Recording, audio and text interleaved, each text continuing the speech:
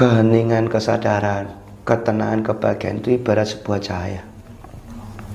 Materi itu adalah bayang-bayang. Semakin kita menjauhi cahaya dan mengejar materi, bayang-bayang ini akan semakin besar. Analoginya kayak gitu. Tapi ketika kita mengejar cahaya ini, maka bayang-bayang ini akan mengikuti kita. gitu. Oke. Jangan diperbudak oleh materi. Gitu. Seluruh papat lima pancar itu sebetulnya kalau menurut sudut pandang saya itu adalah elemen yang di mana itu mengandung sifat-sifat dari diri kita. Nah makanya itulah kalau dulu itu orang-orang itu kalau sedulur papat lima pancar kita itu sering diajak ngobrol itu sebetulnya sering mengoreksi diri api itu sifatnya amarah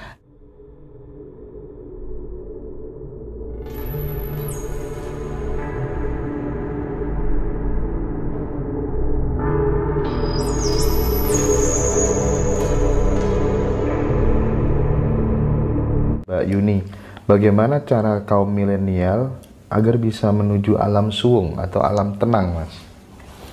Jadi sebetulnya bukan milenial aja yang harus suwung atau harus hening ya. Tapi itu tuntutan itu adalah tujuan kenapa kita diturunkan di dunia ini itu ya sebetulnya adalah kembali ke alam kita sesungguhnya. Nah, makanya di sini ini sebetulnya outbound. Outbound. Jadi sebetulnya karena kita memang pada sejatinya akan kembali ke surga, Allah itu mungkin apa ya ini pandangan saya ya, sudut pandang saya. Allah itu berharap bahwa hambanya yang disebut manusia ini tidak berhenti cuma di surga tapi bersanding menjadi kekasihnya. Tapi kan itu diuji dulu. Layak enggak kita gitu. Lah tujuan di dunia ini itu untuk menjadi layak. Dan itu adalah tujuan setiap individu manusia, bukan tujuan satu saat bukan tujuan pribadi, tapi seluruhnya itu tujuannya memang seperti itu.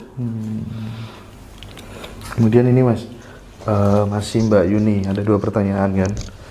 Langkah-langkah kita agar bisa mengenal dan memahami teknologi-teknologi canggih yang ada di dalam diri manusia, Mas. Yaitu banyak ya, termasuk tadi yang saya ceritakan tentang psikolopus, tentang kundalini itu sebetulnya teknologi-teknologi dalam diri kita. Ada Godspot, ada crosspoint namanya kalau di komunitas kita nam- menamainya. Jadi silakanlah Mbak Yuni ya belajar dari mana pun. Nah saya itu juga, juga tidak menuntut teman-teman harus belajar dari saya gitu. Jadi sebetulnya belajarlah dari mana pun gitu. Kalau misalnya itu kalau dirasa apa yang saya sampaikan itu mungkin menjadi salah satu jembatan Mbak Yuni untuk apa mengenal atau memahami diri ya monggo ayo kita bareng-bareng kita sama-sama berjalan gitu. Oke, oke. Saya lanjutkan. Nah, ini banyak teman-teman yang menjadi korban pinjol, Mas. Pinjaman online nih kan. Ah, jadi korban. Sampai ada yang bunuh diri gitu. Bagaimana mengatasi problem umat yang seperti ini, Mas? Ya itu kan makanya kan kita ini jadi ibarat kita ini di samudra kita berenang dan kita mencari di mana samudra ya sama kayak gini kita ini di dunia materi tapi masih mencari materi yang harusnya kita cari adalah surgawi gitu spiritual makanya lah kita di sini itu sebetulnya mematerikan spiritual mematerikan eh, materi itu menjadi kesurgawian gitu. Lah kita ini udah di materi tapi kita masih mencari materi itu mana? Kan konyol sebetulnya. Nah Jadi, itulah logikanya mem- apa ya? Mati-matian mengejar sesuatu yang nggak dibawa mati. ya sebetulnya kan kayak gini konsepnya. Keheningan kesadaran, ketenangan, kebahagiaan itu ibarat sebuah cahaya. Materi itu adalah bayang-bayang. Semakin kita menjauhi cahaya dan mengejar materi, bayang-bayang ini akan semakin besar. Analoginya kayak gitu. Tapi ketika kita mengejar cahaya ini, maka bayang-bayang ini akan mengikuti kita. gitu. Oke. Jangan diperbudak oleh materi gitu. Iya, menarik, menarik. Setuju saya. Oke, Rahayu Mas Hendra nitip pertanyaan buat Mas Ori, ini Mas Zainal. Bagaimana cara dasar melatih daya energi dan juga cara untuk menyalurkannya? Itu Mas. Jadi kalau saya ceritain tanpa praktek bareng-bareng ya sulit ya. Ah, Jadi ada beberapa sistem psikologis itu yang harus diolah. Jadi yang perlu teman-teman pahamin energi itu sama dengan mind. Jadi energi itu sesuai dengan apa yang kita pikirkan. Poinnya itu di situ. Jadi kalau misalnya energi ini mau dialirkan ya dia mengalir. Oke, itu nanti teknisnya kita arahkan kalau misalnya di Tuban belajar di Tuban, Ya. di Surabaya belajar di Surabaya Iya. dan seterusnya ya mas. Ya nanti kita buatin wadah ketika teman-teman ingin belajar. Cuma saya garis bawahi bahwa belajar ap- apa yang saya pelajari ini jangan teman-teman berekspektasi bahwa nanti akan menjadi sakti, bisa melihat, bisa ini, bisa itu. Enggak. Saya garis bawahi bahwa tadi itu adalah sedalam-dalamnya mengenal diri gitu. Oke. Bagaimana cara untuk menangani atau menyembuhkan orang yang lagi kesurupan ini mas? Ini mas Zainal lagi nih.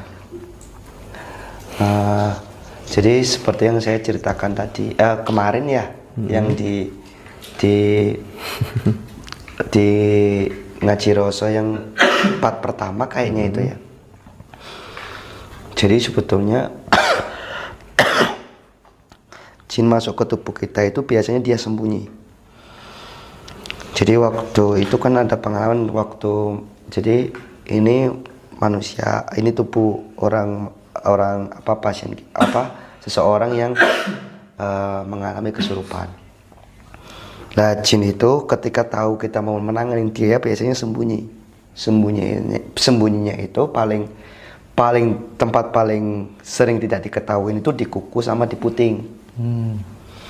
Nah kalau tekniknya yang biasa kita pakai itu adalah membungkus seluruh tubuhnya kayak ada selaput gitu, terus kita tarik, kita niatkan semua energi negatif itu ketarik semua, baru kita buang. Gitu. Nah itu tekniknya, tapi itu nggak akan nggak semudah seperti tekniknya karena harus ada beberapa energi yang harus dihimpun. Iya iya iya iya. iya. Nah kemudian cara kerja pagar gaib ini banyak yang penasaran. Kenapa setelah rumah saya di pagar gaib justru sering terdengar suara ledakan di atas genteng?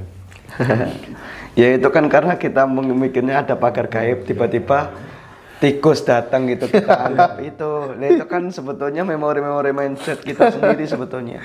Iya. karena sebetulnya energi itu tidak bisa hilang. Dia cuma bisa berubah bentuk. Dan itu pun kan juga waktu memagari rumah itu sendiri kondisi-kondisi psikis itu juga dipengaruhi. Jadi kalau misalnya teman-teman pakai pagar-pagar yang ada faktor X-nya ya, ya memungkinkan sekali bahwa teman-teman akan dipengaruhi cara pola pandangnya. Itu tanpa disadarin. Jadi makanya sebelum kita main-main dengan mereka kenali dulu mereka gitu. Kalau nggak gitu ya kita akan dipermainkan karena mereka itu ya memang tugasnya seperti itu. Iya. Saya punya kenalan nih, anaknya dia itu sering melihat makhluk halus, Mas. Jadi diajak bermain, mungkin barangkali kayak Mas Ori waktu kecil ya. Apakah itu termasuk gangguan jin atau kelebihan? Apakah perlu dibersihkan atau justru dimaksimalkan potensinya?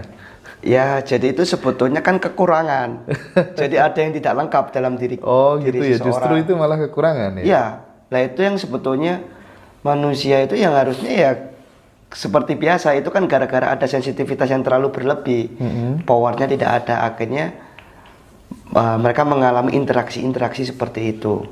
Tapi kan poinnya kan gini, potensi terbaik itu adalah mencari kelemahan kita hingga menjadi apa uh, kelebihan gitu.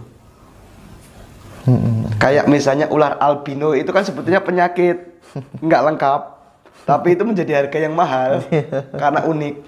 Iya, iya, oke, oke. Eh, nitip pertanyaan Mas Hendra buat Mas Sori. Tadi siang saya sudah kirim WA yang menanyakan proses mencari jati diri agar memaksimalkan potensi diri sendiri dan kepikiran memulai dari mencari tahu warna aura diri dan bagaimana aura tersebut. Apakah awal langkah tersebut benar atau ada saran langkah yang harus bagaimana Mas Sori? Monggo. Iya, sebetulnya banyak itu pertanyaan-pertanyaan itu. Ya saya mohon maaf sekali lagi karena saya tidak bisa balas satu persatu karena terlalu banyak. Bahkan sampai ada yang telepon berulang kali. Jadi sekali lagi saya mohon maaf buat teman-teman karena saya tidak bisa jawab satu persatu. Jadi pada dasarnya mengenali jati diri itu yang seperti saya ceritakan tadi, mulailah dengan hal-hal yang menurut teman-teman itu mudah dilakukan mulai uh, menjadikan diri ini sebagai sahabat terbaik misalnya kayak tadi itu sebelum tidur kita tanyain kita setiap hari ini ngapain aja gitu dan seterusnya itu adalah langkah awal jangan bingung perkara aura dan sebagainya walaupun aura itu pun juga menentukan aura basic ya itu menentukan potensi-potensi setiap individunya tapi jangan bingung di situ malah nggak jalan malah kepikiran auraku apa ya? Iya gitu. gitu. Capek nanti nggak akan Iya. sampai. Oke, saya lanjutkan mas. Agak singkat-singkat nggak apa-apa mas, biar paling nggak tercover. Nanti kita follow Api di Malang lagi. J. Apakah mas itu dalam mengolah energi kesemestaan menggunakan jurus-jurus tertentu seperti persenyawaan dengan empat unsur alam seperti gerakan atau hanya cukup dengan medisa- meditasi saja? Iya bener kayak gitu. Jadi eh, kita mengambil beberapa unsur alam yang di mana unsur-unsur tersebut dibutuhkan oleh tubuh kita. Jadi kayak elemen api, air, tanah, udara, dan ether. Sebetulnya itulah yang yang yang jadi pegangan teman-teman apa leluhur-leluhur kita itu ya seluruh papat lima pancar itu sebetulnya kalau menurut sudut pandang saya itu adalah elemen yang di mana itu mengandung sifat-sifat dari diri kita. Nah makanya itulah kalau dulu itu orang-orang itu kalau sedulur papat lima pancar kita itu sering diajak ngobrol itu sebetulnya sering mengoreksi diri. Api itu sifatnya amarah dengki itu diajak ngobrol. Apakah saya sekarang marah gitu dengki dan sebagainya. Mulai air itu apakah saya sekarang menenangkan apakah saya tenang atau saya gelisah. Sebetulnya sifat-sifat itu yang kita coba murnikan di elemen itu. Sebetulnya nilainya sama sebetulnya cuman beda penyebutan bahasa dan itu juga saya tidak ingin memperdebatkan itu gitu. Oke oke. tapi benar itu jadi pengolahan itu. Jadi di alam semesta ini kan unsurnya banyak. Iya. jadi sebetulnya bukan kita menghimpun energi alam semesta ya kalau menurut saya. Bukan kita ngambil energi alam semesta terus kita masukkan ke dalam tubuh. Nggak gitu konsepnya. Konsepnya itu energi alam semesta ini digunakan untuk menjadi stimulus atau men-trigger eh, cakra kita agar dia berputar. Ketika cakra ini berputar, dia akan membangkitkan medan energi. Dan di struktur psikologis atau cakra ini ada yang disebut dengan generator energi. Nah, generator inilah yang akan menyalurkan di eh, meridian karena meridian ini adalah tempat tertancapnya psikolopus. Setelah tertancap itu membentuk dengan yang disebut biasanya suhumna. Jadi sumuna itu adalah wadah pengelolaan energi gitu. Jadi itu sebetulnya bisa di- bisa dijelaskan lah itu nanti. Iya iya iya. Panjang juga kalau saya jelasin. Masuk kelas dulu itu ya. Mohon penjelasan jika energi yang diolah tersebut ada hubungannya dengan saudara batin papat kali mau pancer. Mohon pandangan pribadi Mas Ori sendiri mengenai hal tersebut. Apakah sempat mendalaminya atau memang itu kunci dasarnya? Terima kasih. Ya itu tadi yang saya jelasin. Hmm, Empat unsur elemen itu sebetulnya kalau di bahasa leluhur kita itu menurut saya itu adalah sedulur papat lima pancar. Sifat-sifatnya, sifat-sifat elemen, Oke oke. pancarnya itu eterik kalau di kita namainya. Nah, ini ini dari Pak Wakijan. Waduh. Dari Mas Abadil nitip pertanyaan nggih. Kulo niki menjalani hubungan percintaan tapi beda agama. Dan saya ingin nikahnya secara Islam. Saya dari pihak laki-laki, tapi orang tua pacar saya menginginkan saya nikah secara Kristen. Dan saya ingin sempat mengakhiri hubungan tapi pacar saya masih belum bisa. Dan dari hati kecil saya juga nggak tega karena saya sudah melakukan hubungan yang melebihi orang pacaran. Dan apa yang harus saya lakukan? Dan saya harus bagaimana? Gimana mas ini mas? Ya saya juga pusing kan itu. Karena yang melakukan beliau gitu. Bukan saya gitu. Ya mungkin tanyakan pada diri sendiri atau tanyakan pada rumput yang bergoyang gitu.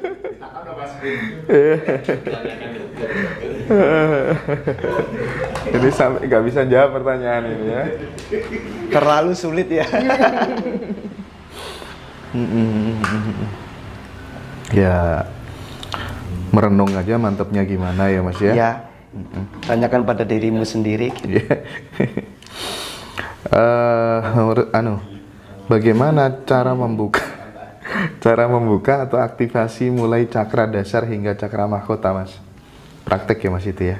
Iya praktek. Jadi sebetulnya teman-teman ini jangan beranggapan bahwa cakra itu tidak terbuka. Semua cakra itu terbuka gitu. dan aktif. Cuman bagaimana mengoptimalisasinya gitu. Gitu ya, di situ. Poinnya. Maksimalkannya itu ya, ya. mengoptimalisasinya. Kalau maksimal itu kan berhenti, tapi kalau optimal kan terus berkembang. Oh iya oke oke oke. Apa saja ciri-ciri cakra yang masih terhambat atau belum terbuka sempurna? Apa saja yang menghambat supaya apa cakra-cakra itu bisa terbuka? Ah, kalau misalnya dilihat juga ah, kalau cakra terhambat itu ya sebetulnya yang tahu adalah pribadinya masing-masing. Kalau makanan gimana mas? Ngefek nggak? Misal keterkaitan aktivasi cakra-cakra tersebut dengan makanan-makanan tertentu gitu ya bisa bisa? lewat pola hi- pola hidup sebetulnya. Jadi mulai dari perilaku, mulai dari makan, apa yang dimakan itu sangat mempengaruhi. Karena tadi berpengaruh juga kan bagaimana makanan itu mempengaruhi hormon. Bagaimana perilaku kita pun juga mempengaruhi. Ketika kita tidak sering bergerak, kita diam aja ya itu akan mempengaruhi psikologis perkembangan psikologis. Kayak saudara-saudara kita yang menghindari makanan-makanan bernyawa begitu mas, manfaatnya apa? Kalau berkaitan dengan cakra itu? Ah, yang ini yang memiliki nyawa ya. Mm-mm. Ya itu kan sebetulnya di di beberapa orang itu menganggap bahwa yang bernyawa itu memiliki nafsu. Nah itulah mungkin ya pendapat beliau itu agar nafsunya tidak bangkit, tidak tumbuh, apa ya tidak tidak tidak memicu Oke, dia oke. semakin nafsu gitu. Mungkin ya. Iya, iya. Kalau menurut saya.